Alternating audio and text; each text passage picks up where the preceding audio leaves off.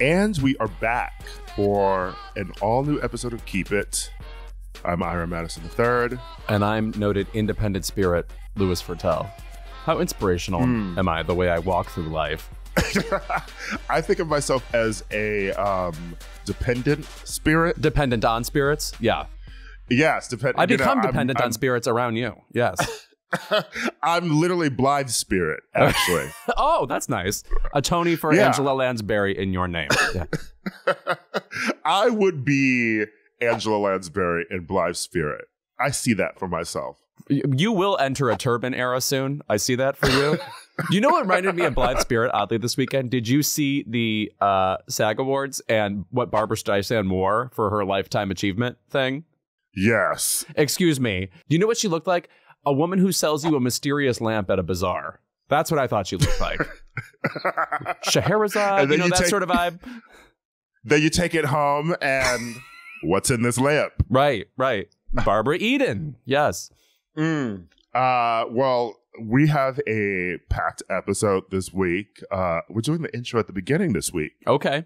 You know, just just just letting people know what's coming up in the episode, so All right. that you can turn it off if you don't care. Controversial move. All right, let's go.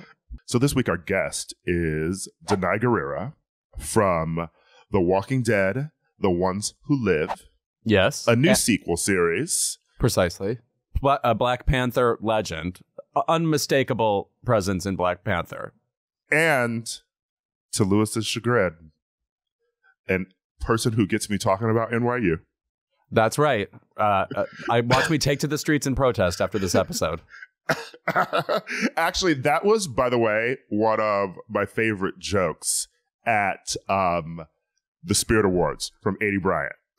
She said something about how people from NYU don't shut up about being from NYU. And that is just true. I mean, as you'll know from this podcast, if you listen for even five seconds. It's a drinking game at this point.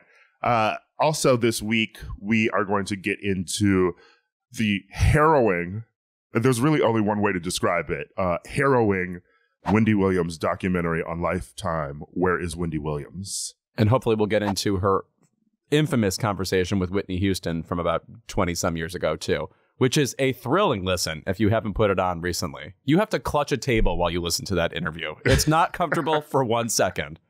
And also this week, Denis Villeneuve talked about how he hates dialogue in films. And well, you know, our chatty Kathy Louis has some things to say about that. so we will also get into that this week. Uh, but before that, we've got a bunch of news that we've Sure. got to hit. So, first of all, Che Diaz, they're out. And I don't mean the closet. They're out also they're out of sounds the like pet store. They're out sounds like a Che Diaz comedy concert. Remember when they called that a comedy concert? and We just had to pretend that was a human expression that people say. Well, what's actually funny about that is I have friends who do comedy concerts. If you go see Larry Owens in New York City, that's actually the definition of a comedy concert. There's comedy being done and they're singing. So I guess you would call Yeah. it a comedic concert. Yes. Right. I mean, Matt Rogers, comedy concerts. You I know? love I But- love disparagingly calling him a musical comedian. I'm like, oh, my favorite musical comedian. I love when he gets out the banjo. But this also implies that Che Diaz was also singing songs that we never heard. And boy, do I believe that. Oh my gosh. you know, Che came out like one of the Animaniacs. They're all three of them. how many how many Che Diaz scenes are just on the cutting room floor? Right. Uh, trying out material because the material that made it to air, again, too real for the general population how hackneyed it was. Things about, oh, I took an Uber from my living room to my whatever. Oh, come on.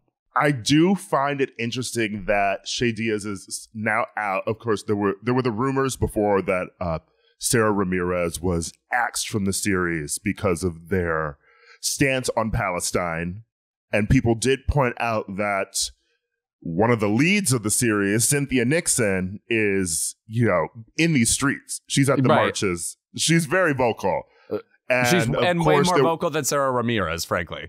Yes, of course. And there are other people trying to devil's advocate that online by saying, well, Cynthia Nixon is the lead of the show. So of course she can say what she wants. You sound stupid. Yeah, right.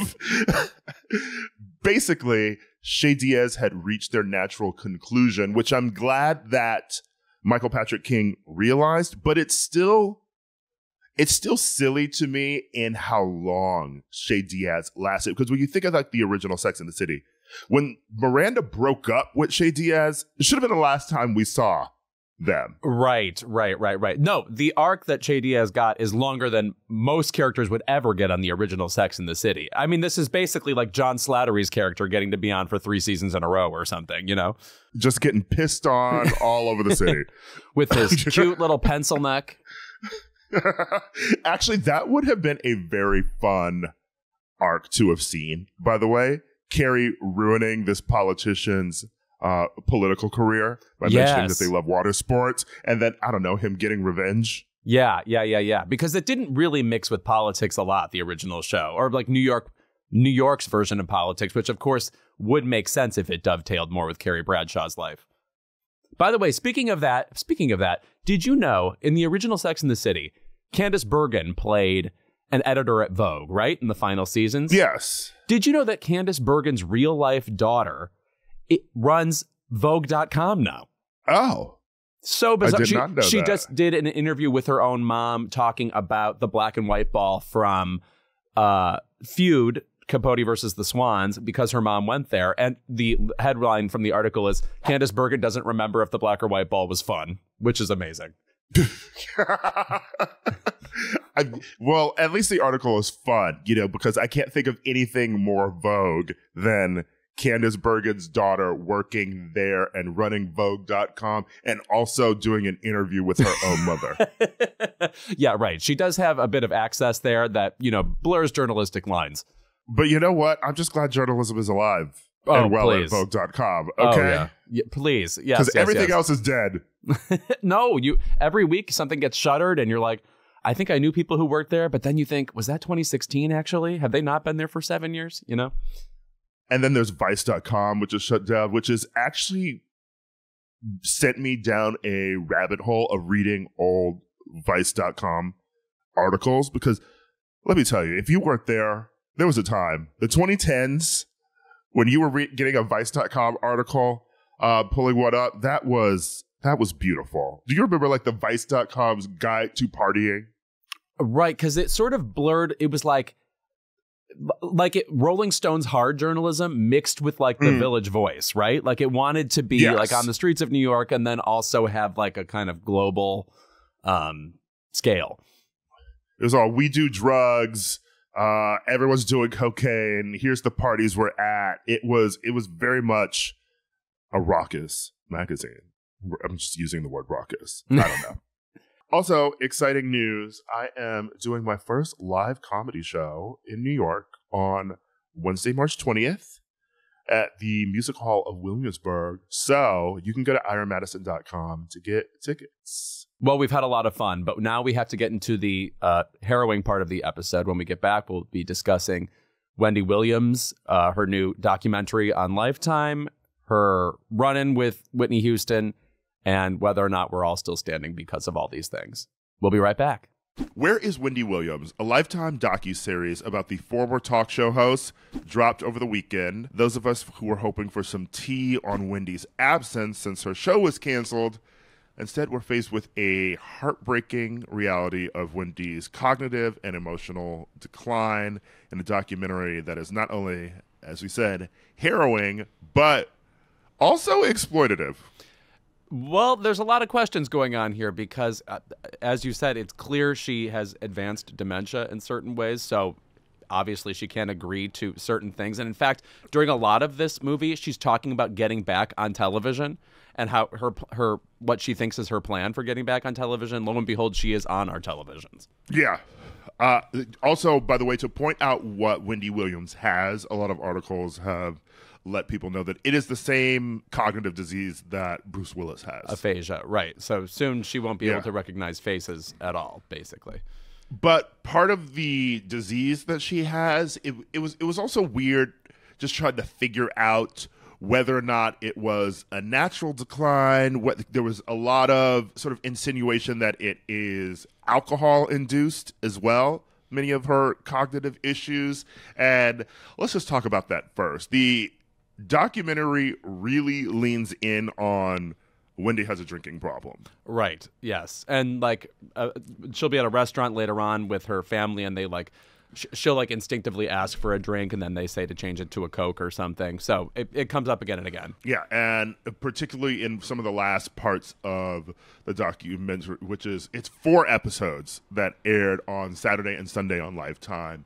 Uh the bottles party sized bottles being found in her bathroom, being found in her bed. Uh, that was sort of the part that they were leaning into with she's drinking a lot. But first of all, I just want to talk about the fact that a lot of people were saying this documentary feels exploitative. What did she consent to? Um, is Lifetime profiting off of this in sort of an evil way? And I want to say that I felt that way in the first couple of episodes of it. The first two parts, the first two hours. The Sunday night episodes, I don't know if I felt that it was particularly exploitative of her. I actually feel like the last half of the documentary was the part that we really needed to see because so the the documentary starts out with they were planning to document her podcast comeback Right. and then it became very clear that this podcast was never happening.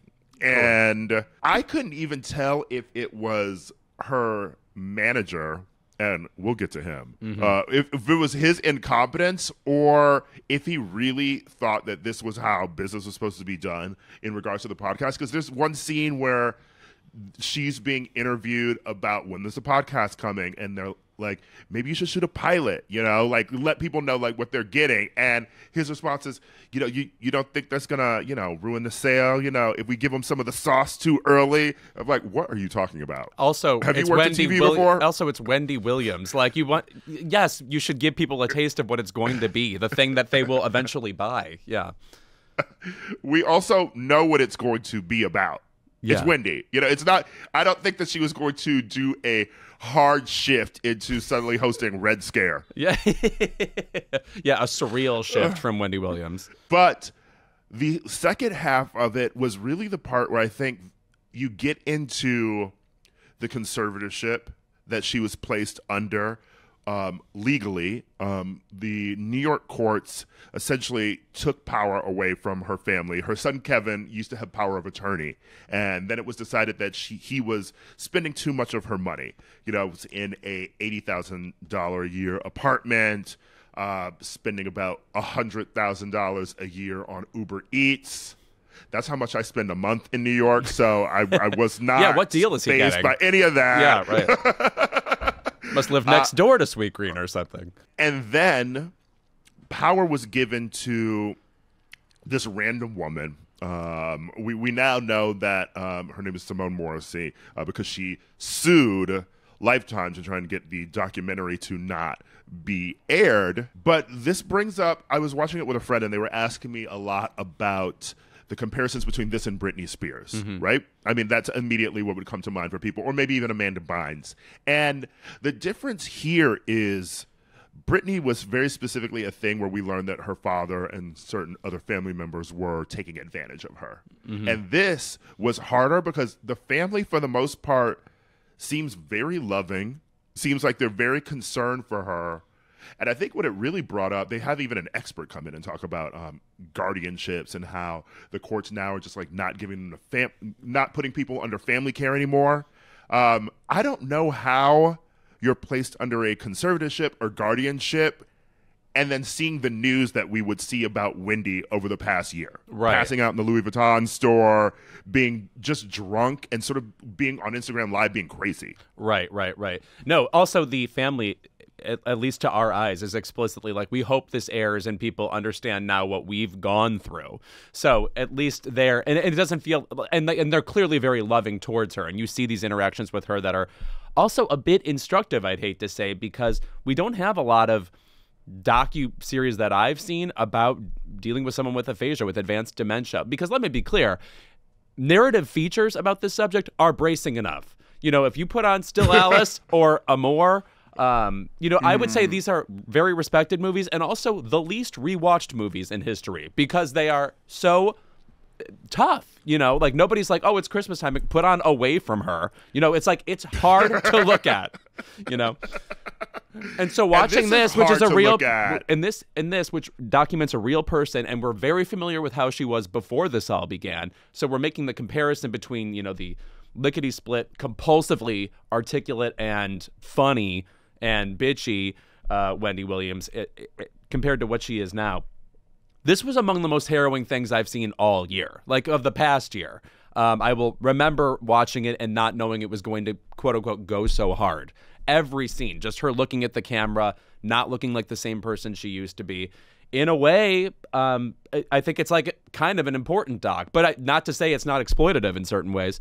But I just can't think of another thing like it about a celebrity. You know? Yeah, I think the thing that really sort of makes it instructive here is the fact that we know we know Wendy Williams. Yeah. You like you talk about she used to be funny and bitchy uh and really just great with one-liners. And of course there was always that bit of her personality that was a little a little bit off or uh, Out of bounds and absent. She'd rude. be Yeah. Out of bounds. Yeah. Yes, but she'd be talking about something and then also abruptly shift. It almost like she had ADD. Yes. Uh, which she'd be just talking about a topic and then five different topics would tumble out of her mouth within one minute.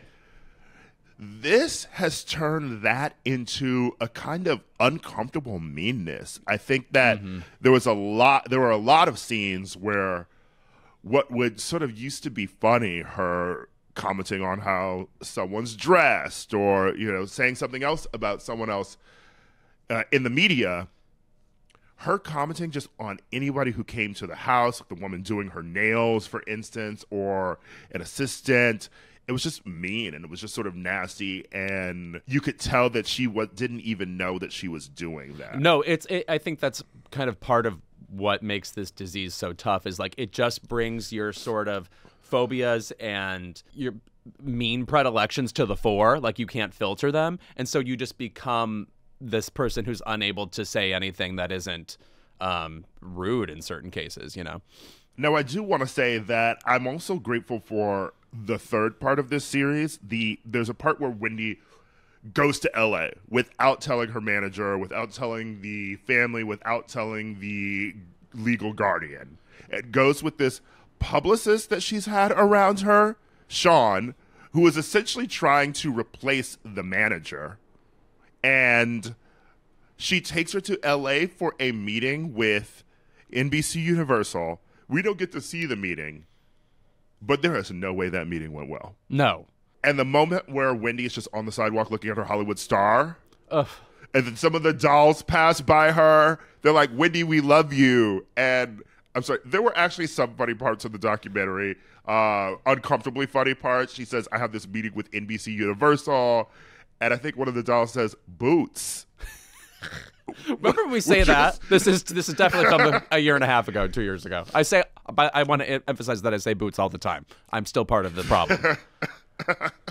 Uh, but she's dressed in this Gucci top, these short shorts, fishnet stockings, Lara Croft hiking through the Antarctic boots, and talking about how the Wendy show is going to be more sexy like this, and she, you know, not you know dressed up glam in dresses and things that the Wendy Williams show used to be. She's she's younger and she's sexier now. And she's talking about how she's planning to go to NBC Universal and. I don't know, just seeing this woman driving Wendy around this point where she asked Wendy, Do you want to go to the Oscars? And Wendy's like, What? And she's like, The award show. It was horrifying to me. And I feel like, yes, Lifetime might have been.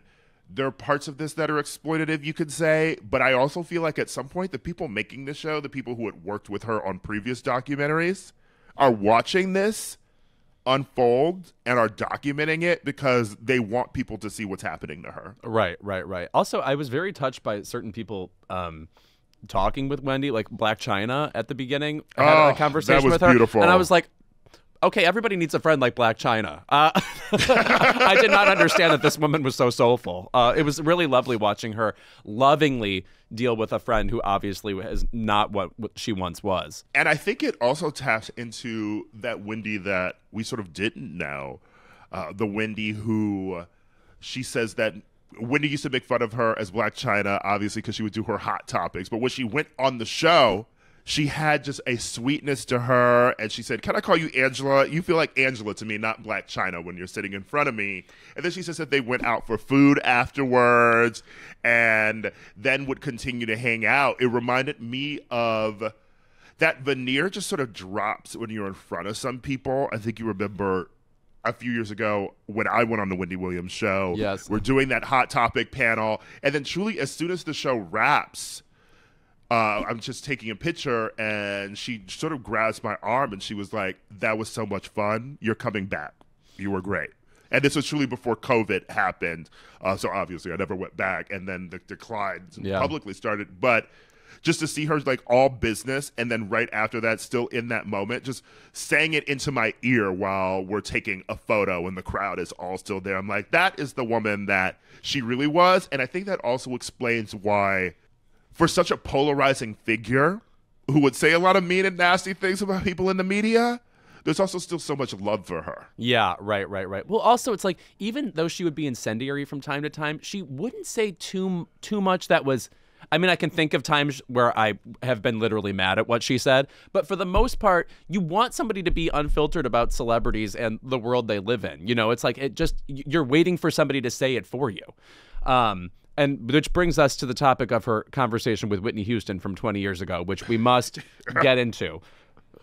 Listening to this back, the thing that that sticks out to me most, Whitney Houston, much as she is digging at Wendy and kind of poking at her and occasionally is angry and is occasionally seemingly unhinged, there's really nothing you can say to unseat Wendy Williams because she sort of owns being trashy or owned being Yeah. uh, mean. So at the end of the day, like Whitney Houston saying things like, you just run your mouth. It's like, well, that's exactly what she does. Correct. You know, it's like, it's like she has no defenses actually, and that makes it better for her.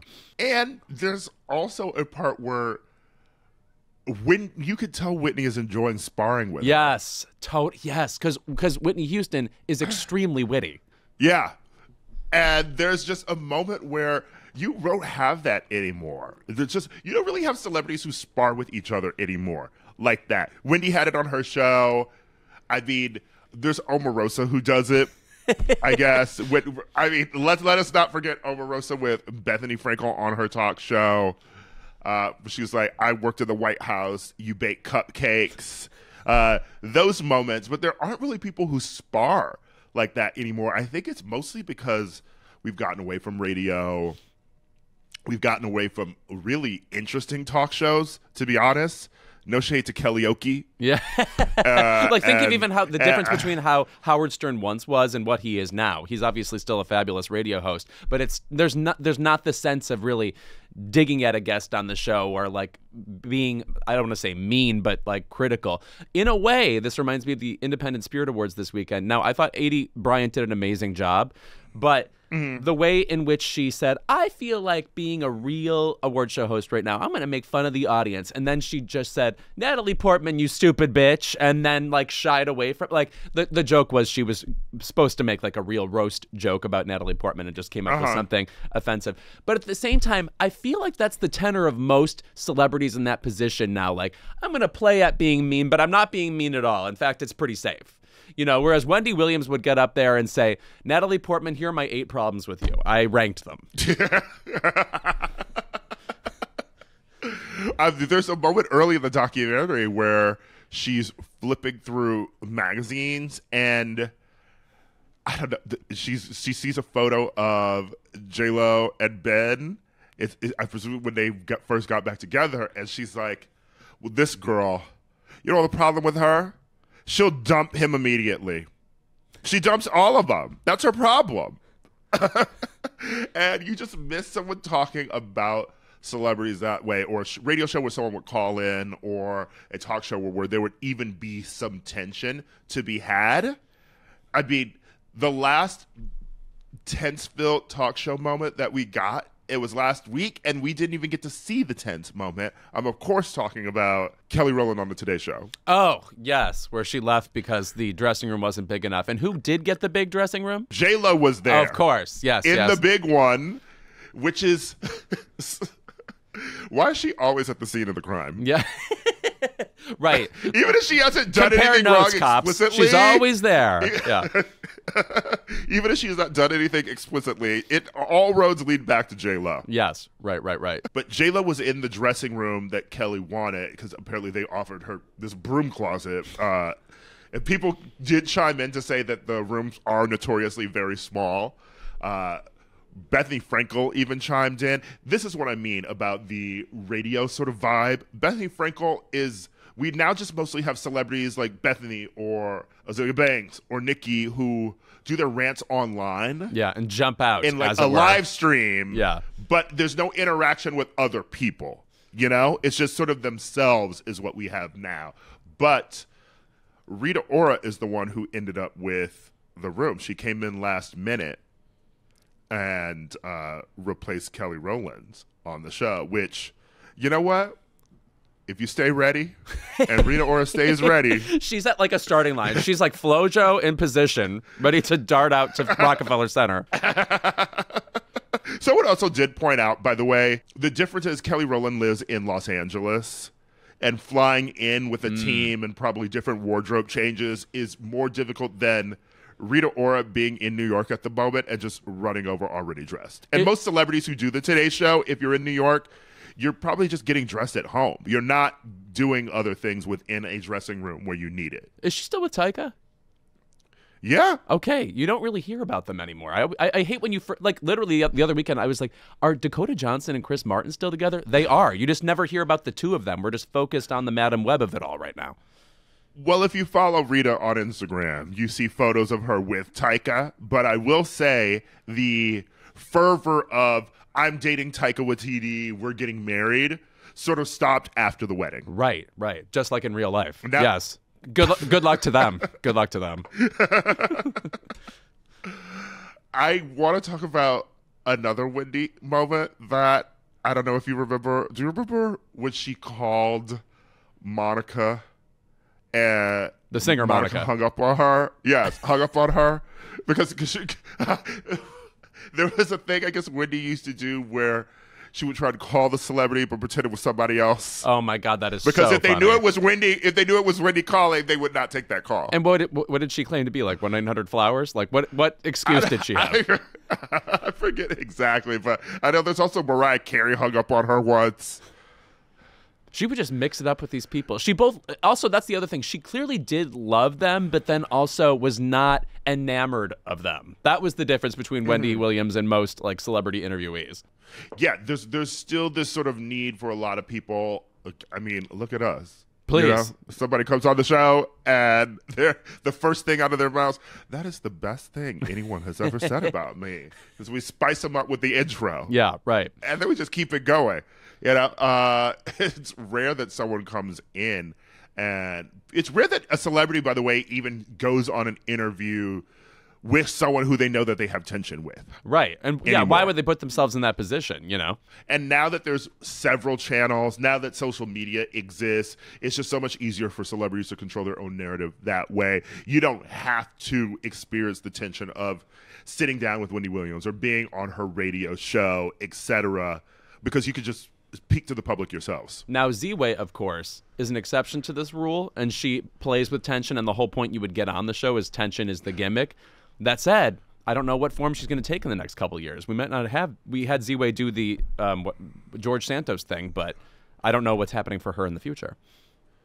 But I would also say that is also very.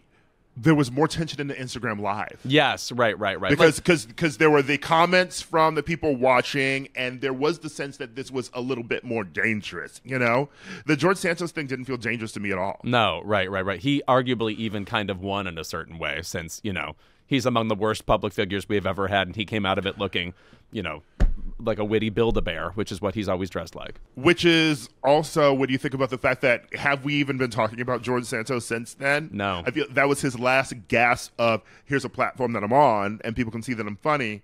But even then, he's not important enough to keep going. So the point is, Wendy Williams, what you stood for, what you still stand for to me, important. Honestly, she's an important figure.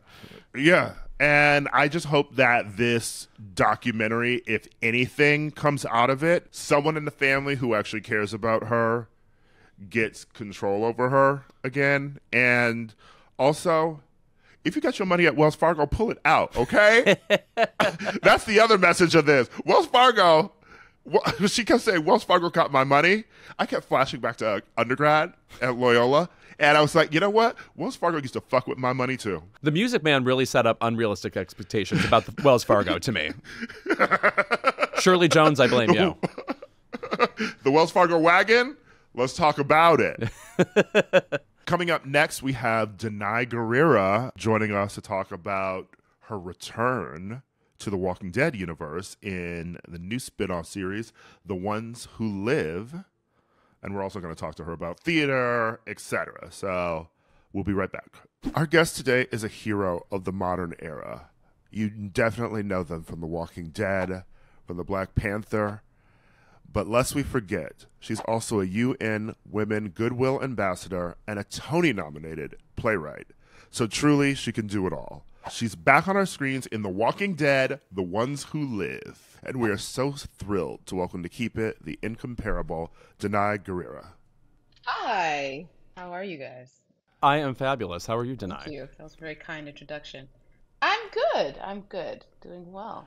I still think of The Walking Dead as a new show because it is, you know, so state of the art. You would never watch this show and think it belongs anywhere else in time but the present. This show has now been on so long. You are like the Frasier Crane of zombie characters. Uh, just generations of you on this show. When you began your journey with this show, did you ever think it would be this long lasting, this epic? I, I had no idea. I had, it's always like, you know, for me with acting, it's always kind of unexpected. Like, oh, where did this come from? Okay, this is great. Um, um, it's just always the sort of thing where you, I could never have thought of this show or this character. Um, in if you had asked me before, I, it just came to me, and then I was like, oh my god, I really love what these people are doing. I loved the show. I'm scared of horror, so I hadn't watched it. Um, I came in season three and, and caught up because I really was in love with the character on the page. Um, to imagine that it would go that far, I, I, I did not think that way because all I was thinking was, can I get through this Georgia heat swinging around this four foot sword? And, and stay alive another day. That's what was going on in my head day to day. So no, not I many never people get to ask themselves that question. Wow, what a rare moment. Yeah. yes, yes, it was. and then I have to ask, you know, you exited, you know, the series after Andrew uh, exited as well, um, but now your characters are reunited on um, The Walking Dead, The Ones Who Live, and what's it like to mm-hmm. to leave sort of finish playing a character to sort of you know put that chapter of your life to rest and then to rejoin again. It's a bit different, you know, from the Black Panther, where um, you know you sign up for Marvel and especially that project. You knew you were going to be doing multiple ones, and you would reappear in other aspects. But were you prepared to um, play uh, Michonne again? Yeah, I mean, the thing that we had done was as as Andy exited, he said he wanted to complete the narrative in a different form for his character and um, and wanted to to of course do that with me. So when he left, that was sort of on the page, and then when I left, it was sort of a contractual thing I was going to come back and do. We mm. had both left with sort of a, a definitely with a dot dot dot uh, to the story, uh, him seeming dead but not being, and my character uh, finding proof that he was still alive and um, seeking to um, to and not being able to of course to not to to let that go as mm. she would. As we know she is not that type of person. She's gonna she's gonna she's gonna see a mission through. So um especially concerning him. So she definitely um was always it was always a plan to complete their narrative we the, the the form it took and the time it took was a whole other story. But the um but the plan to, for their for to com- accomplish what we, we looked at as accomplish what you proposed. You proposed that these characters um have this like you know epic love and they are you know she's finding he's still alive. We know he's still alive. So we knew we knew ultimately we had to come and complete the narrative in some form. But stepping away for you know are the different reasons we did um, from the mothership. Um, we we knew ultimately though the characters would be the the wig and the sword would be returned to at some point. Now you said when you started the show you didn't watch horror. Did you uh, over time become more interested in the genre, or have you stayed away from it generally speaking? Unless of course you're you know wielding a sword. Yeah, no, I, I still have, have no interest in it. I I, do, I, I really don't. I find it. I have a very active imagination, especially at night. So, and I like to I like sleep. Like I don't want to wake up and start thinking about, okay, let me go check. Let me just go check that door's locked one more time. You know what I mean? Like I just want like I get very hyperactive in the imagination. So I don't like horror uh, still, but I I don't mind being a part of it. it's very strange. I was just at the Saturn Awards a couple weeks ago, and it was just full of uh, people from all these genres, and it's it's quite a cool bunch of folk. Uh, but I still can't. I can hang with them on that realm, but just not on the screen. I did grow to love the work that you know. Greg Nicotero is fantastic. Uh, um, you know, special makeup artist uh, for our show who created all that that amazing gore, and I did grow to love the the artistry behind what he did and the gore itself and how much how many times one has to be covered in it um, dead or alive on that show. Uh, so you know i grew to love the artistry behind the horror and that made me sort of um, be tamed like it, it, was tamed in terms of my experience of it um, on the screen for for that one show. But everything else no i'm still i'm still not into it. Not into horror uh, well, one thing I want to ask you about um, crafting characters is exciting that you know we know that you are this amazing actress, but you are also a really fucking good playwright. Uh, and uh, I've had the pleasure of seeing some of your work. Um, and I've also had the pleasure of seeing you in um, Joe Turner's Come and Gone um, with oh my God. Really? Yes. Aunjanue? Oh my god. Yeah, Aunjanue. Yes, I saw that production, um, and I believe that was your Broadway debut. Yes. And that's yes. one of my favorite yes. plays um, um, by August Wilson. Oh. And I want to I want to ask you about being a playwright. I guess you know, and um, what it's like. Yeah. Um, you know, what interests you about that particular part of um, the craft and crafting your own um, characters, and then sort of what freedom you feel um, then stepping into other things and not having to worry about any of that. Well, you know, actually, I, I really, that's so funny you saw that play. It was so long ago. That's amazing. um, and I just saw, I saw Aunjanue recently and we were just reminiscing about it. Um, she's also from my grad school. So we, mm-hmm. there, we're a little, um, little bit of a little family. Um, so it was just so great to catch up with her and really excited for all that's happened with her. Um, but yeah, it was. Um, I do. It's funny you mentioned August Wilson because as a playwright, there are times I I turn to him for when I have writer's block because mm-hmm. there's something so unapologetic about his voice. Not because I'm trying to imitate him, of course, never would. Who could? But it's more about the fact that he has such a clear unapologetic voice from the world that he's illuminating and sometimes one needs a reminder of, of their own unapologetic voice. And I've always found him to be such a powerful uh, manifestation of that for for myself as a black writer. Um, but yeah, the reason why I started to write was because I just simply could not find any narratives that told the stories I wanted to tell. It was really necessity being the mother of invention. I just was like, I can't find um, stories. I grew up. I was I was born in the Midwest. That I um, my parents were here for university, and then my parent my father was a professor here, and then I moved to Zimbabwe when I was five six years old. So I grew up there, came back here for college, and been here ever since largely and was largely like um, where are the stories around you know and i'm studying this craft i couldn't find the stories around african women or just that are multidimensional that didn't put us as in very objectified roles and and i found that really problematic and unacceptable. So i just had to start doing it myself and um, but then i found great joy in that because the, the joy often is when you see people that you you know that often don't get lead roles get a lead role. This one actress, Pascale Armand, who's a Tony nominee from my play Eclipsed, she mm-hmm. um, was also in a play of mine called The Convert. She was the lead in that, and um, you know she that she'd been acting and really a very respected uh, theater actress in New York for many years, but she hadn't had a lead role till you know till I gave till she got the role in The Convert, and that's often what happens with Black women. You know, is that they don't get to helm a narrative very often. And what that's kind of what's given me the most pleasure and the most joy is to see black women get to stand in the center of a narrative and um, and be that protagonist be that character you you you take the journey with and uh, not be on the side not be supporting not you know but be the helmer and we're so obviously capable of that but it's surprising how rarely it happens and Pascale is just such an example of that uh, type of issue. So that's actually where I find the most joy and where I keep feeling the need to continue to create. Is there's so many stories that I feel haven't been told and don't get told, and um, and there's some, when they land in my head, I, I, I have to pursue them because um, I feel it'll bless many uh, and many Black women like me.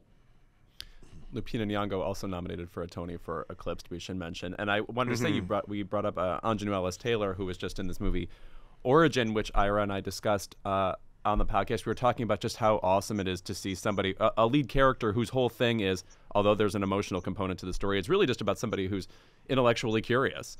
And mm, I was mm, wondering, mm. what roles have you just seen wherever in plays, movies, whatever, that you think, oh, thank God that's out there. Thank. Uh, are there any uh, roles, performances you've seen recently that speak to this need you have to like uh, roles that are cool that you would that you yourself would have liked to have written perhaps oh wow um um yes that's such a brilliant example and of course the astounding um filmmaker ava duvernay is so brilliant at that as well um and you know she's just been navigating that terrain to perfection um oh god you put me on the spot with that ah well, you've had to ah. create so many characters. I, you know, I'm sure it's rare that you know, uh, you know, enough come around for you to just watch. Yes, yes. Um, I'm just trying to think of what I've watched recently. I've been, I've been in a bit of a hibernating writing mode. Um, you know, I was thinking, what is the Black Griselda? That's what was going through my mind recently. you know, but um, you know, that's just that was a random thought. Fair question. Yeah. now mean, I'm wondering. I know. I know she exists. I'm, now I've got to go find her. Um, uh, hopefully, you know, her stories are, you know, she, hopefully I, I will be outing her, but uh, in terms of her, her if she has a, an active operation. But I was just trying to think, like, what, you know, who is that person in, in the black realm? Um, but yeah, I think uh, definitely stories like, you know, stories that allow black women to just be all things. I thought, you know, I think of course you think of things that Viola's done. That's a beautiful mm. example. You know, even with her show, um, um, How to Get Away with Murder, and then you know, even recently with Woman King. You know, that's that's when we're starting to crack into new, into new examples of how, yeah, yeah, show us in all of our all of it, all of our complexity. Let it be out there, and let it be unapologetic, and let us navigate and helm the damn story. I have to ask then too. You know, you have had um, the gift, the joy of being able to play. You know, two strong. Um, female characters like Okoye um, is one of them, and um, these feel, I guess, sort of like um, it's interesting when Black Panther came out uh, and even when your character debuted in Walking Dead, I feel like you spearheaded two characters who were unlike black women we'd seen on TV before, um, and sort of, I think, ushered in this new um, genre of just being able to see black women play characters like this. I think of the Woman King as something that is probably um, beneficial mm-hmm. to Black Panther and also um, your character in Walking Dead being created. Are you seeing more? Um, just fulfilling characters in television and film that you're being offered um, on more for um, other women that you work with and consider peers and friends um, to be able to um, get those roles as well coming to them.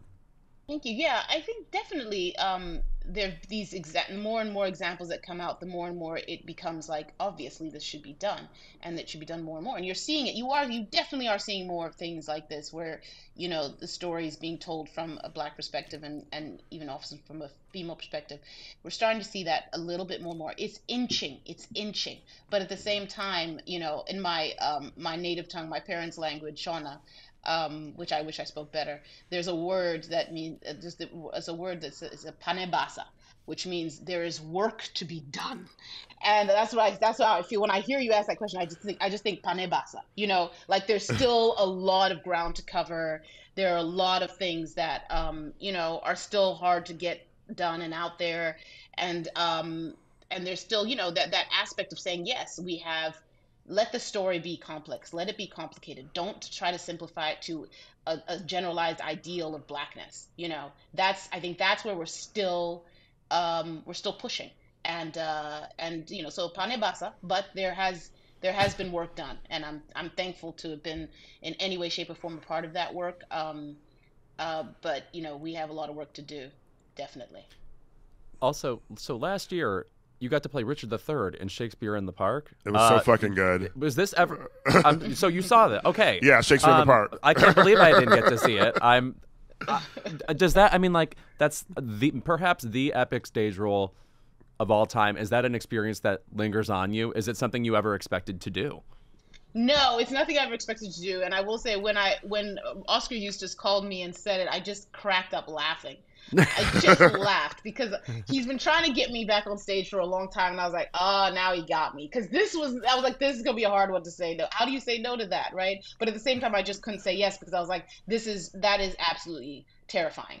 Um, and I was terrified, and I just I didn't give them an answer for months, him and Robert, and then I finally was like, you know, I just thought, man I don't know. I think it was Sidney Poitier had recently passed, and there was some. It was an interview I saw him say. He said something to Oprah that I said, "Girl, get off your butt and go do that darn role." Like, you know what I mean? Think, think about what this man navigated at the time that he did. You know, get off your butt and go do that thing. And it's the hardest thing I've ever done. Hardest thing I've ever done in my life. Do I miss the guy? I miss the guy. I do miss the guy. You know, he was he's a he's terrible. He's a terrible human being. But you understand a lot. I understood him at the same time, which I don't know what that means.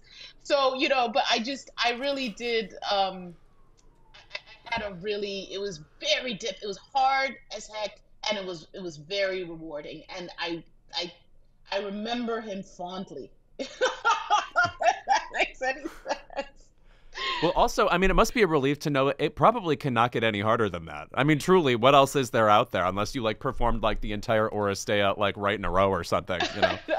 yeah, it was it was extremely hard and it was so hot. And I remember I was arguing. I had to argue down my wonderful um, costume designer, uh, Dede. I had to argue with her because she wanted to put me in leather pants. I was like, girl, I will slide right off uh, right down the river. Okay, like I'm running up and down this thing for for two and a half, three hours. Like I can't do that.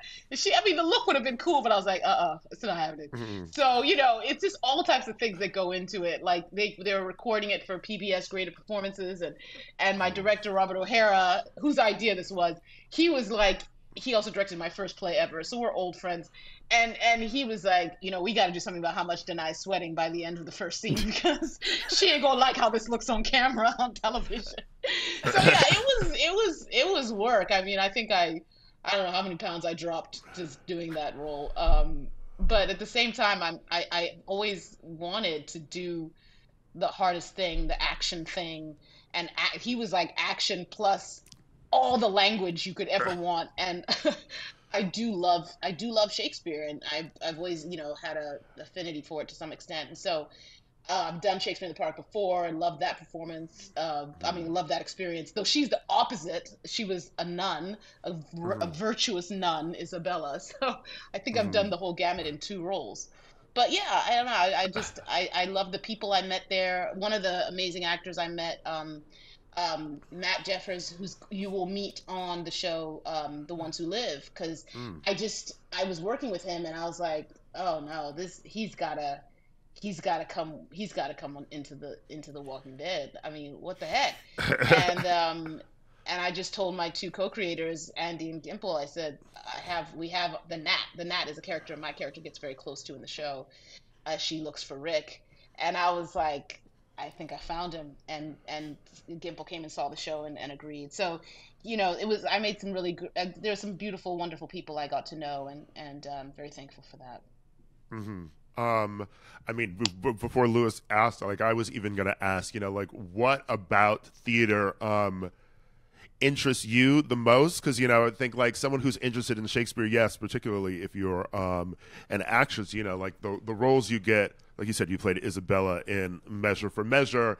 That is sort of what you expect mm-hmm. to get. And I'm like, you can't really ask like, well, what are you getting out of Shakespeare anymore once you, you know, get to play Richard III?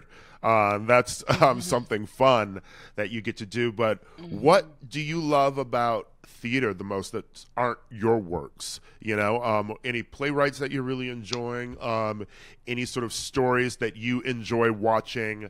That are not um, the stories that you want to mm-hmm. tell, um, but stories that you just be, enjoy, where you're like, it is nice to sit in a theater with people and enjoy this story communally for a couple hours. Oh yeah, there's so many great playwrights. I just um just was just celebrating mm-hmm. my dear sister uh Jocelyn Bioh. She her oh. was just recently on Broadway. Jaja's. Yeah, yeah, uh, yeah. And, I love that play. She's a dear friend of mine. Yeah, yeah. And we were, you know, she's she's a, you know, someone I'm, you know, working, developing works with, and someone mm-hmm. I really adore.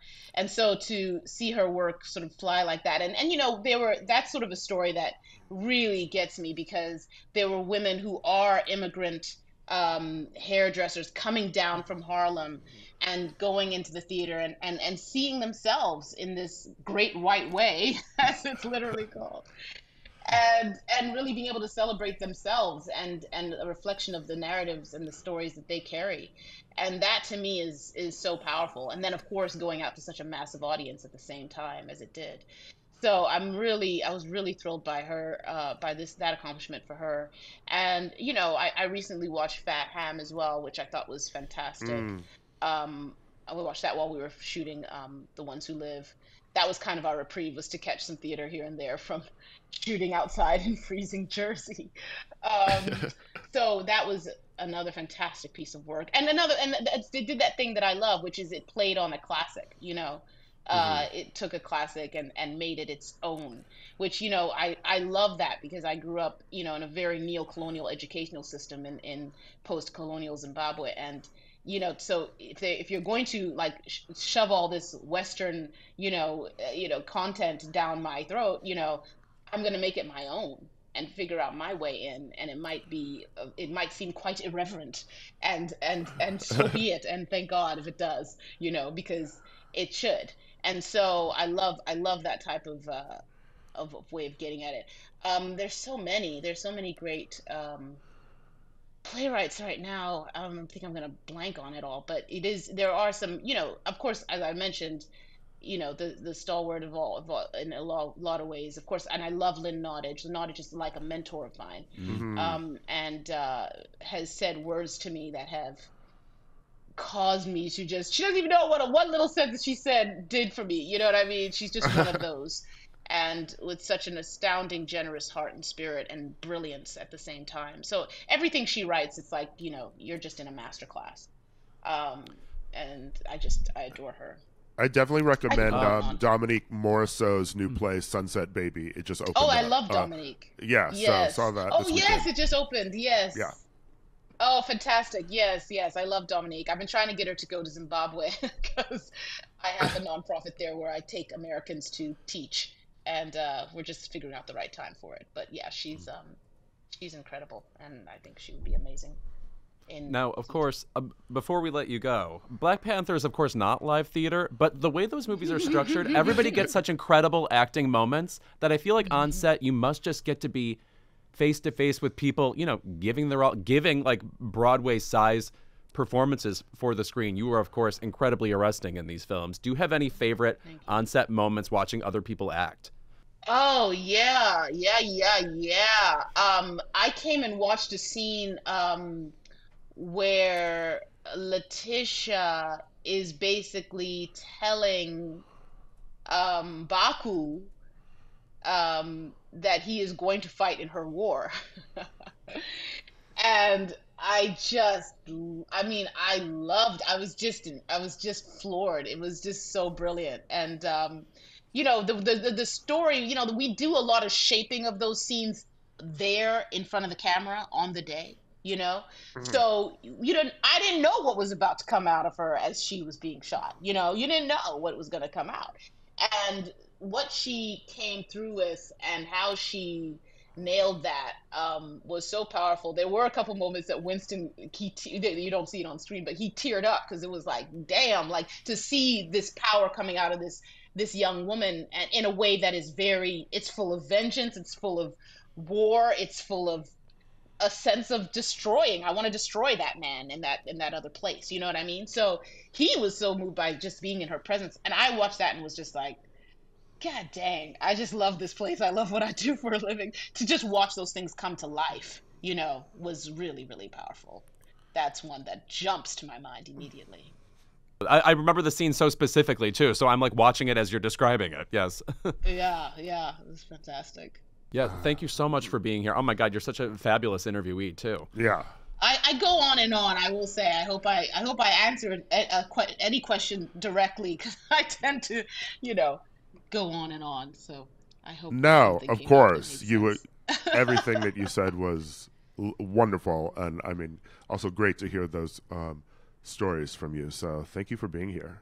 Oh, thanks for having me. It's been really fun. Appreciate it, guys really enjoy your your work by the way both of you oh how nice oh thank you go listen to some people who are smarter i'm sorry i have to discourage you sorry don't I mean, yeah, yeah, you're smart. Uh, yeah i'm i'm always happy to talk to another tisch grad too so um, oh really? I love that. Oh, yeah. wonderful. Oh, yeah. Wonderful. I did the dramatic writing uh, program, MFA, oh, um, and I graduated 2011. Yeah.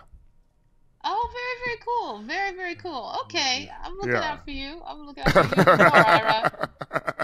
You got the purple on. I see that. Yeah. I see it now. so over the weekend, Denis Villeneuve, uh, director of many of our favorite movies of the past few years, including Arrival, Sicario, Blade Runner 2049, where I believe Jared Leto just showed up and they filmed an entire movie around him being weird. They're like, "You want to dress in gold? Great, stick around." Uh, he said this Frankly, I hate dialogue. Dialogue is for theater and television. I don't remember movies because of a good line. I remember movies because of a strong image. I'm not interested in dialogue at all. Pure image and sound. That is the power of cinema. But it is something not obvious when you watch movies today. Movies have been corrupted by television. Okay, first of all, bitch, don't you ever put television and theater in the same breath again. television is for entertainment. Theater is art. Movies are art. Theater and movies go together. I have to say, I actually am sort of grateful to hear this perspective because it's clarifying. Like when you see people come out of the Criterion closet and they're talking about like um, old auteuristic movies, I feel like they're routinely talking about images more than they're ever talking about characters and dialogue and stuff. And it's just a school of thought that I believe exists, you know, that movies are about image and sound and feeling enveloped it is just not really why I go to the movies. I am mm. tr- truly dialogue oriented. I am way more Mike Nichols oriented than Stanley Kubrick oriented. And um, I don't know. Uh, do, uh, do you concur with this perspe- perspective at all? What do you think of this? It's very interesting because I feel like, as a person who has written for television, uh, as a person who grew up on American films the way that we did, especially queer coded films, it's all about di- snappy dialogue. It's all about people yeah. interacting. And I love theater as well, obviously. But as I've been dipping into film more, obviously within college when I was watching certain films or trying to uh, educate myself on certain foreign films more, there is something to be said about the fact that non American films do rely on images a lot more. And I will say that when I'm thinking about film it is a lot of these striking images that do hit me first before the dialogue. The dialogue is good, but when I think about my favorite directors, like um, Almodovar, for instance, Mm-hmm. it's it's all about those bright colors, the images, the costumes, you know, the the staging, and I mean, just speaking of another Denis, Claire Denis, uh, Uh-huh. a French director, that is all about the image. I mean, Beau Travail like barely has any dialogue in it. Right, right, right. Stars at Noon, the dialogue is from Margaret Qualley and Joe Alwyn, and so you'd rather not listen to it anyway. I have the feeling Margaret Qualley is going to win an Oscar in the next like six or seven years. So bite For. Drive Away Dolls? this- uh, maybe not. I hear Beanie Feldstein's good in that. I haven't seen it yet, but um, uh, it's just literally all of my favorite movies. It's about the dialogue ultimately. Like All About Eve doesn't exist without the dialogue. Even uh, Rear Window, a suspenseful movie which has plenty of spectacle in it, lots to look at, is about character dynamics before it is about being terrified. I think. I wonder if you're like a film scholar and a filmmaker, if sound and spectacle, if those are the kind of things you're more impressed with yourself for achieving. Whereas I don't know that there are many people who pride themselves most on capturing, I don't know, a conversation or just somebody talking in a fascinating way. Even though that's what I like most about movies. You know, I'm still recovering from Woody Allen sucking. I that's like that's the mode of film I prefer, you know. I think there's also something to be said though about people who do both, writing and directing. Yeah. You would never say that a Tarantino film is not about the images in it. But Right. you also would never say his films aren't about the dialogue. Right. He is definitely equally obsessed with both. Like he loves the snappiness as he is clearly a snappy person. In fact, he looks like he's mm-hmm. going to snap most time you most times you see him. But He's then also yeah, but also he's obsessed with old movies and uh, Mm-hmm. uh, tributing things and then making things splashier than they ever were before. You Yeah, know what I like I about mean- Trent Tarantino? Refuses to be bored. That's something I do appreciate about him. Except for the Hateful Eight. So there's yeah, also the world's longest movie. Yes. Yeah. Um, I, I also did a disservice to Almodovar even there because his dialogue is also snappy and it's funny. Oh, and yeah. that comes from the tradition of melodramas and telenovelas. And I just think that you brought up All About Eve, and that comes specifically, though, from a period where there was more of a blur between radio dramas, theater, and film. People were writing Right. dialogue, and there, there were obviously beautiful, gorgeous images in probably more gorgeous images in Hitchcock than I would say in All About Eve. I actually don't really remember much of the visuals in All About Eve, to be honest. Um, I mean, I remember mo- scenes and moments, but you know, like Yeah. visually stunning. I don't know how visually stunning it is uh, to me, but that's also just coming from when films were black and white as well. Right. You know, you're not taking in all of those images. It's before Technicolor. So it is about the dialogue. It felt more theater based. And I feel like as America started moving towards Technicolor, there was color and images, and there's also dialogue. But then you had a whole school of people like Godard, uh, or even, I don't know how much dialogue is really in most the Bergman films are about the images Mhm. a lot of times too, but they're also about a conversation too. So I don't know. It is it is an interesting question that I feel like a lot of people were having fun with online. Some Right. people like, well, Well- you know what, that's true. But then also there are people who just prefer movies that have dialogue in them, and there are some people who really just only want that visual spectacle. I think also there's just a difference in how people learn. Like some people, Mhm. I would consider myself more auditory. So the way people speak is going to resonate with me more. Whereas if you are entirely visual, I don't know, maybe conversations fall on deaf ears. Though I have to say, it feels crazy to me to say you don't like dialogue, but maybe it's with the. Here I am getting into just pop psychology. the love languages thing, how some people are words of affirmation and then some Mm. people aren't that. They're something totally different. All I am is words of affirmation. Please write a poem about me. That's what I want. But some people, I guess, don't respond to that. I think words are just filling the air and not taking taking this dynamic anywhere. I mean, what's the last time um, he did dialogue anyway? Was it that talking fish in Maelstrom?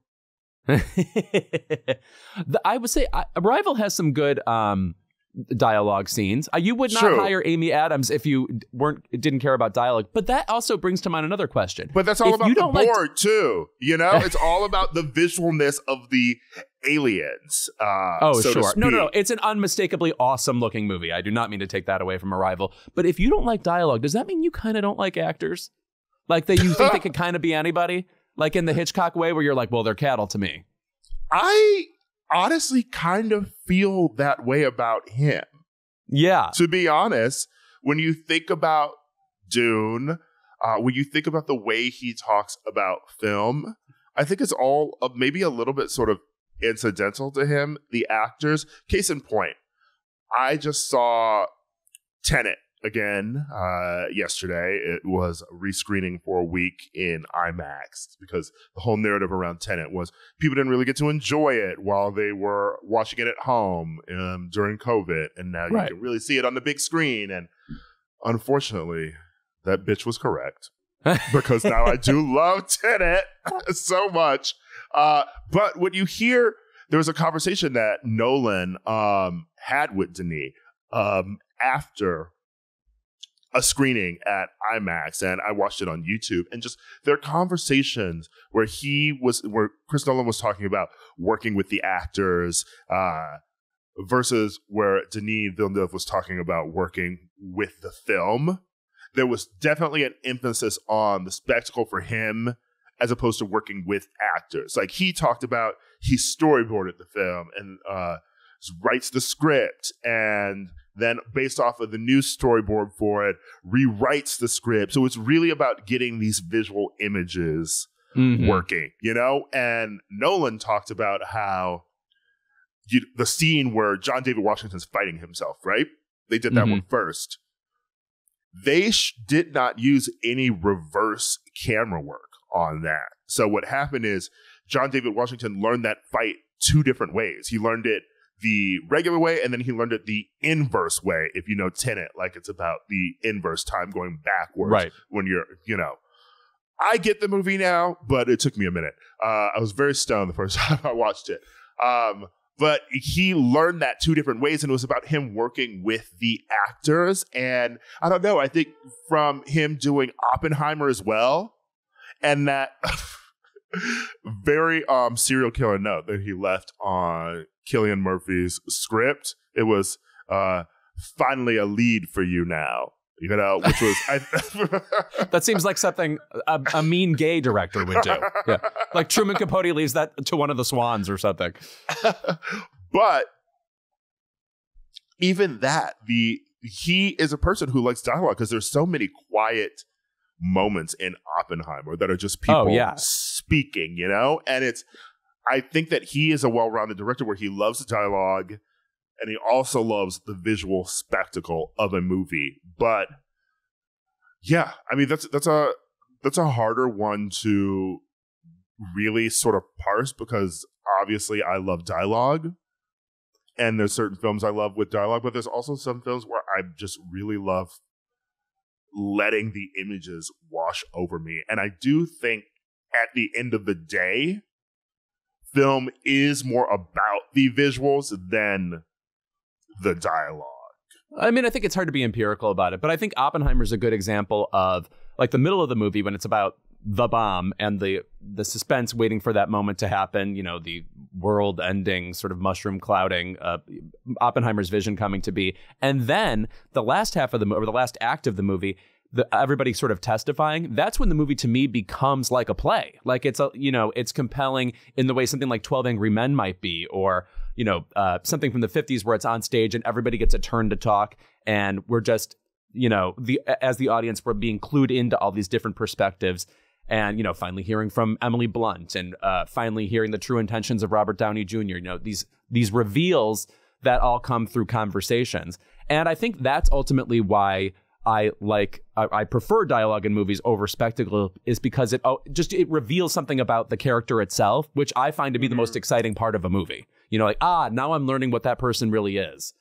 That's fair, but I would also say that a lot of the colors or a lot of costumes sort of reveal who people are too. So I don't know. I think there's just a different school of thought of people who love one or the other. And I think more often than not, a French director just isn't going to give a fuck about the dialogue. True, I do have to say the Frenchness is coming into play here. I think, um, and also, you know, if you don't like dialogue that much, I think maybe therapy is for you. I don't know. I feel like maybe you could tap into something here that will help you ultimately in your journey to be a person.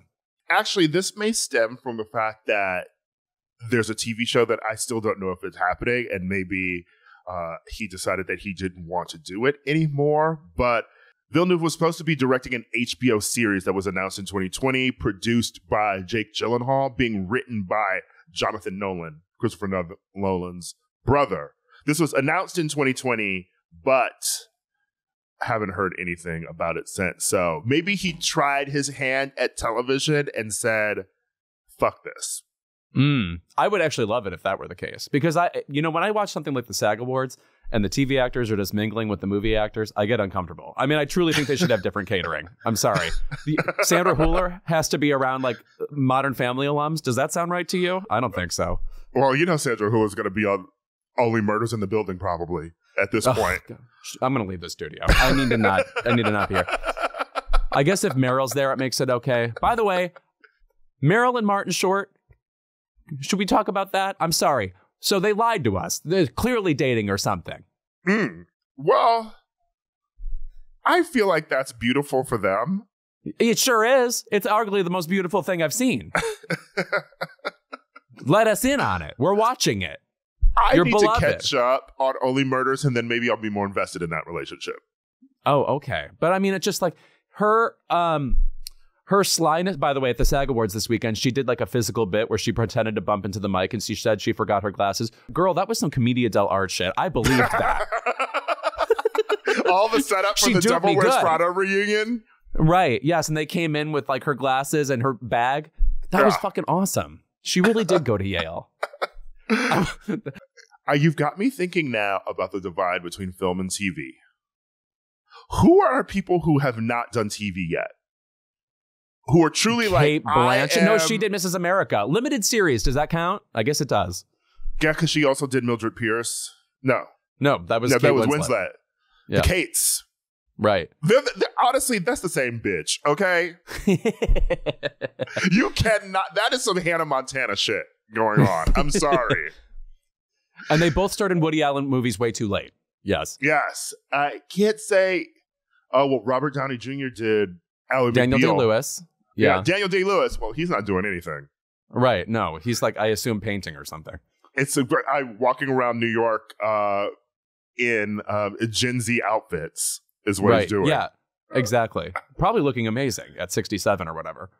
But I think that he may be one of the last holdouts of people who just have not done television. I mean, Meryl's done it now. Julia Roberts has done it. Right. No, it's upsetting. I, I believe Denzel in these bifurcations. This is where oh, I believe Denzel's... in a binary. This right here. Yes. Yeah. Denzel there's good and there's not as good. Yeah.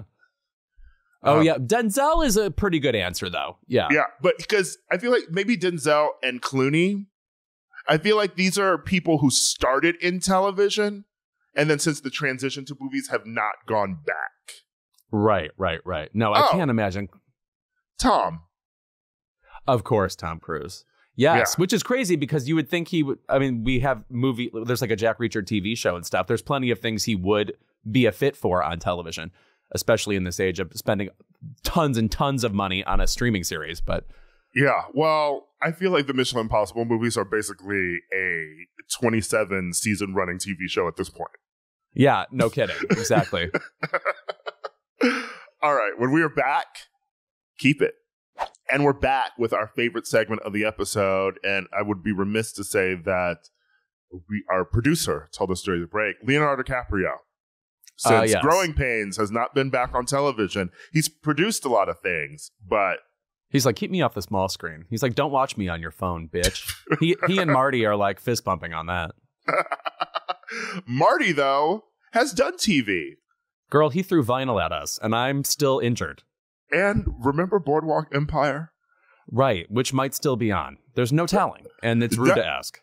Never has there more been a show where people were continuously telling you about its importance while it was on the air, and now since it's gone off the air, I haven't heard a single person talk about Boardwalk Empire. And by the way, where is Paz de la Huerta? Uh, the honest question, and I believe we should be concerned for our safety. what is your keep it this week? Oh, right, the show.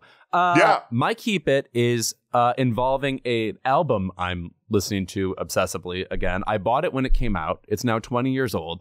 I said I didn't mind the. I said I didn't really care for Confessions having a 20th anniversary um, Mm, uh, renaissance, and the internet was upset. You know what? Good, good for them. They should have spoken up. I'm glad. you tweeted But I'm talking that? about. Yeah, I did not know. I said it on the podcast here Oh, um, after Usher's Super Bowl. But I have been listening to Gwen Stefani's Love Angel Music Baby. And all things considered, a pretty perfect pop album, except Mhm. for what I'm going to say my keep it to. Keep it to Long Way to Go with Andre 3000, the final track on the album.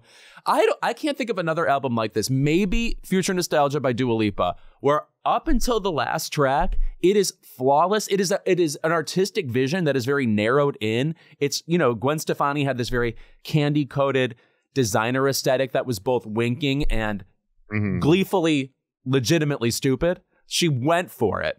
And the pop hooks were popping. I mean, like, uh, What You Waiting For is produced by Nellee Hooper, who did uh, all of Bjork singles from the early 90s, like Mhm. Human Behavior and It's Oh So Quiet, and did uh, Bedtime Story by Madonna. Uh, you had Cool, which has a wonderful video. You had Holla Back Girl, which is, of course, one of the great uh, radio songs of all time, and a a fun rejoinder to Courtney Love, allegedly, who wouldn't stop making fun of uh, Gwen Stefani at one point.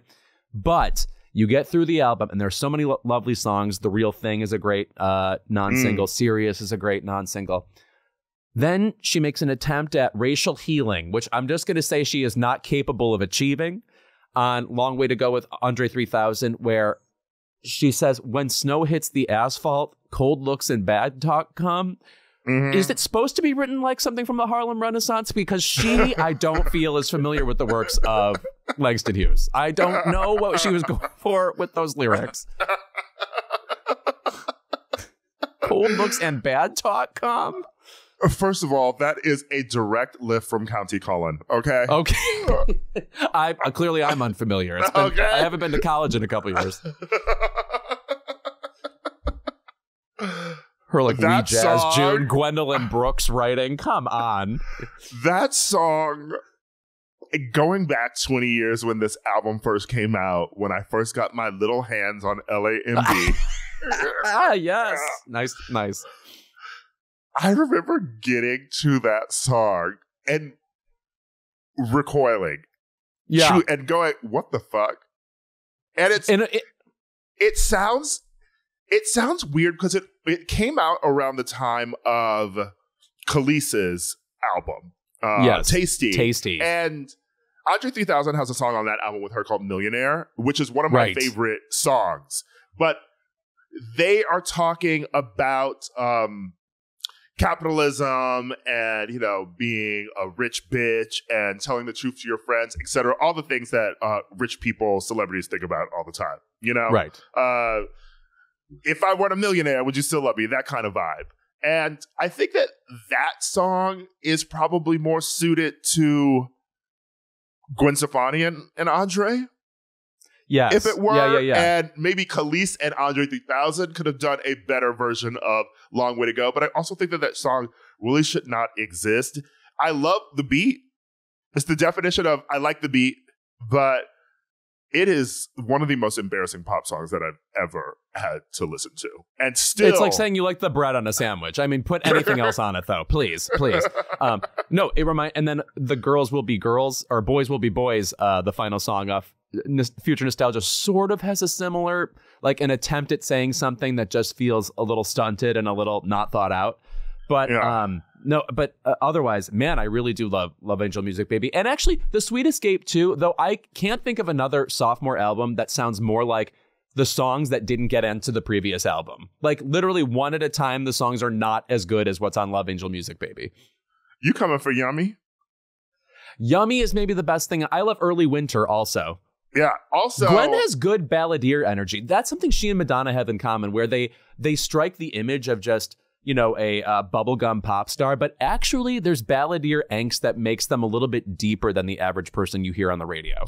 let us not forget Fluorescent. because a friend of Love mine that. played Another song that, sounds like a Madonna song. Yeah. Yeah. Mhm. My a friend played Fluorescent at a party. Uh, like my friend who was DJ played Fluorescent a few weeks ago, and I was for a second.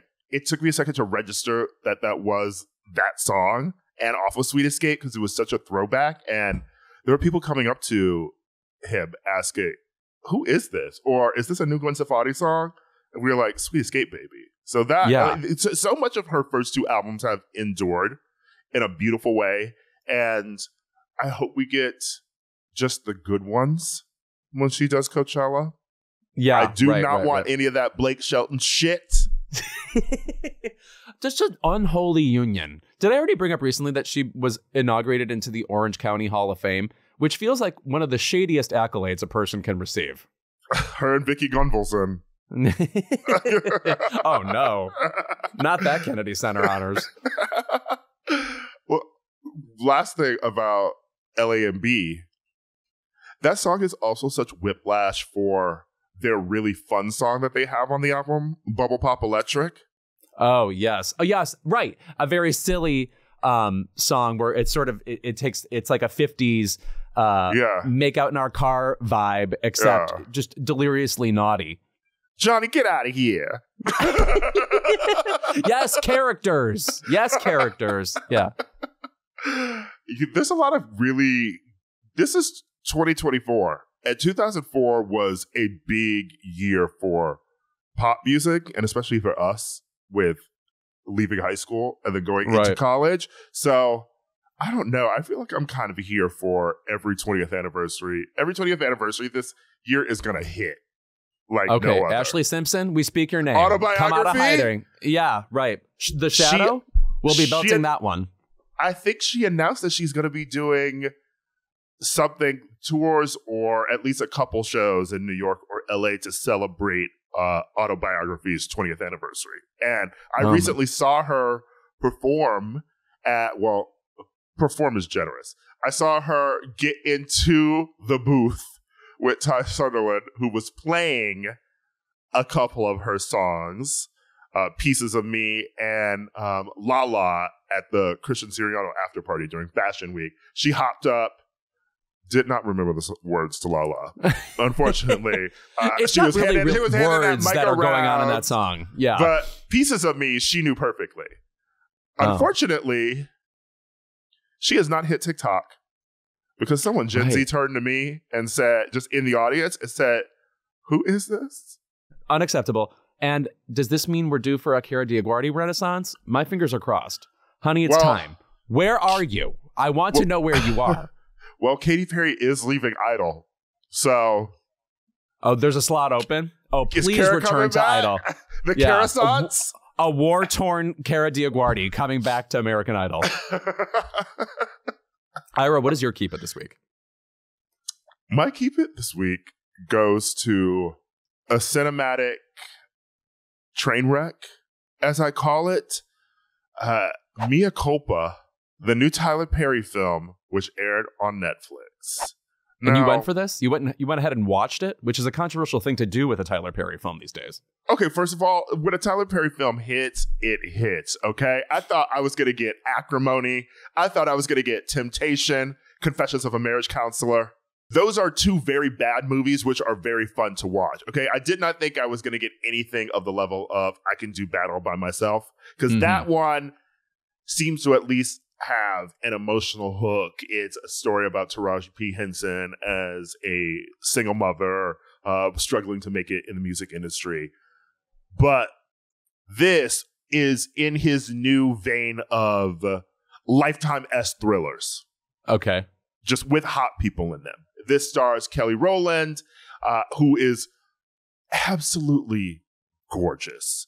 Oh, she In- is so like- gorgeous. Like, yeah. w- one of our hottest celebrities. Uh, they're they're routinely in photos with Beyonce.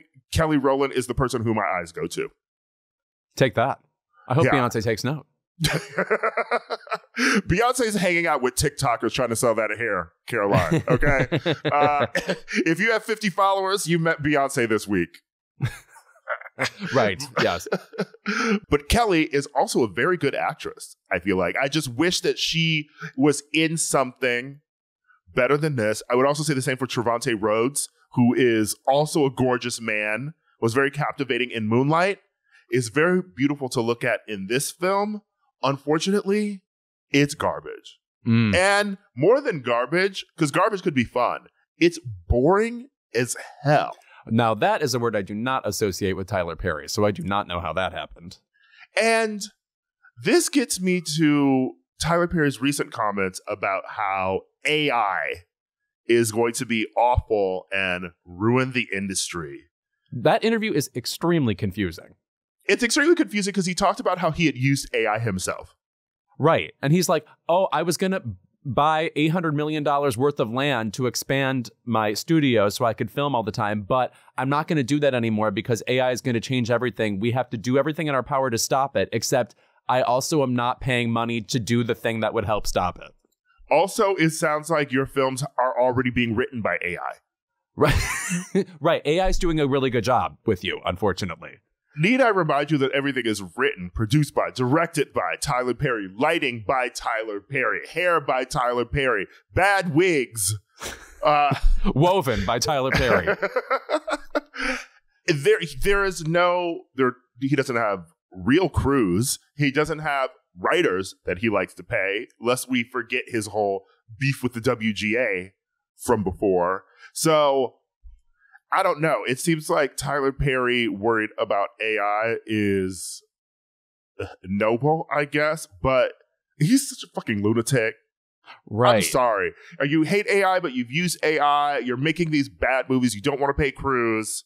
What are we even doing here? And it's so unfortunate too because I know, like, ugh, I know my mom probably loved it. well, someone probably did. I mean, like he's going to keep making them, obviously. The Yeah. internet told me this week that when he tries calling Aretha Franklin, Aretha Franklin makes him do the Madea voice on the phone, which is a good way of reminding you who you are when you're talking to Aretha Franklin. Do your yippy little voice. Okay, She's- that's enough. She Bye said, get, she said, get it right. yes, you won't be been zooming her. You won't be zooming her. I have been spinning that song nonstop for a past month, by the way. Get it Get it right. Oh. Yeah. I'm very obsessed with uh, Aretha Franklin's "Jump" from the original Sparkle soundtrack. Okay. And now we go to jump. But anyway, this is just peak Tyler Perry sounding the alarm about AI when you admitting that you've used it in two of your films already. Right. He's very like outside of bounds of the conversation we're trying to have. Yes. Uh he is he is who he is, you know? Pretty good in Gone Girl, I have to say. Get back to acting, baby. Right. And being like seventh build. Mm-hmm. Yeah, th- that and he was also one of the only good parts about that Netflix movie, the one where he was in it with Oh, Kate Don't Look Up. Blanchett. Don't look up. Yes. yes. A movie we tried to give a Best Picture nomination to, and then we did, and then society got a little worse. Yeah, you know, it's the white American fiction. Yeah. Mm, There we are. Ding, ding, ding. Wow, Yeah. we really that was really something Leonardo DiCaprio was passionate about. Hmm. Makes you think. Well, he does love the environment. Right. I, I assume they sent him a big script that had just uh, a piece of masking tape on it and uh, in pen the environment written on it. And then he's like, "Oh, I'm interested." And then he picked it up and read it. Like, remember that whole period where all we used to get from news stories about Leonardo DiCaprio was about how he cared about the planet and about how he was getting solar paneling in Yes. his LA mansion. No, I told you once upon a time I wrote a uh, a- a prize for Billy on the Street, which was a, a signed bag of the environment by Leonardo DiCaprio. Actually, maybe that's why he dates such young women. right. You think He's, it's like he's caring thing? about the future. Yeah. Right. a recycling thing. he no, he believes the children are our future, Louis. Oh, I see. I see. Teach them Yeah. well and let them lead the way. He's He actually and building yeah. a team of planeteers. I see. Talk about somebody who needs a Wendy Williams interview, Leonardo DiCaprio. That is exactly what we are missing from the tw- 2000s and 2010s. All right, uh, that's our episode this week. Thank you to the amazing Danai Gurira. I mean, somebody who's on a TV show that long, also a Tony Award nominated playwright. Who who has done it like her? Who has? Let me tell you, Tyler Perry. Oh, damn it. Fuck. I need Yeah. to think of him. Yeah. She'll, she'll, she'll never be him. She'll never be Glamour. Unfortunately. All right, she we'll can do next actually really well all by herself. How about that? Yeah. All right, we'll see you next week.